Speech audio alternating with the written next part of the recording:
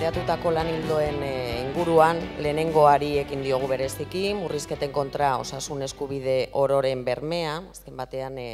ba, seguraski transversalena da, eta gainontzeko atalak ere jorratu ditugun arren, ba, bereziki horretan zentratu gara. Ideia nagusia, eta bat eginez, e, bizkate, planteatutako bostelburu nagusiekin, e, osasun eskubidea ere, e, osasun gintza geuk geure osasun gintza, geure osasuna geuk erabakiko dugula. Eta hartara, ba, ba iruditu zaigu, planteatutako helburuekin e, fronte zabalaren osaketa, alternatiba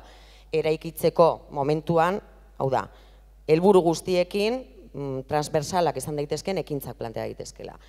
Guk e, bi, bi deia nagusi edo bi neurri e, orokor planteatzen ditugu, batetik tokian tokiko errealitatetik abiatuz, tokian tokiko beharretatik e, abiatuz, ba, borroka sozialak eh, aktibatzeko aukera e, ematen duela eta hoien inguruan beharrak identifikatu, neurriak hartu, azpiegituretan ere, e, bertan e, lanildoetan agertzen direne gainontzeko, gainontzeko alderdiak ere integratuz eta azken batean planifikazioak eta neurriak planteatzea, tokian toki, osasun konseiluak ere e, abian jartzeko eta bar eta bar. Eta bestetik, bigarrena, e, mutuen e, legearen erreforma e, datorren honetan, Madrildik beste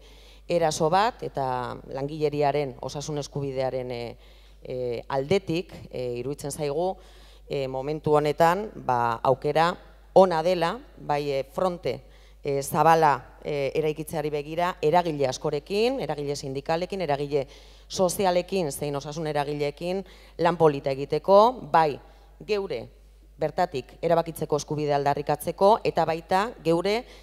langileentzat nahi dugun osasun sistema e, finkatzeko, kalean aktibazioa sustatzeko eta baita beste neurri instituzional e, batzuk ere. Eta gero beste ideia bat atera da, e, eta ja bukatuko dut, horrekin lotuta ba, geure osasun sistema finkatzeko, etorkizunerako geure herriarentzat nahi dugun osasun sistema finkatzeko bidean, bagian, e, plantea dezakegula, e, nazioarteko kongresu bat, e, adituekin, eragile e, sindikalekin, osasune eragileekin e, urratsak ematen hasteko. No basta con mirar a los lados y ver qué hacen mal o qué no hacen los demás.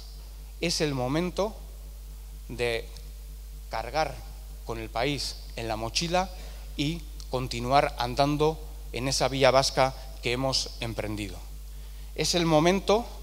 de dejar las excusas para los demás, porque nosotros y nosotras tenemos razones para el cambio político y social en Euskal Herria.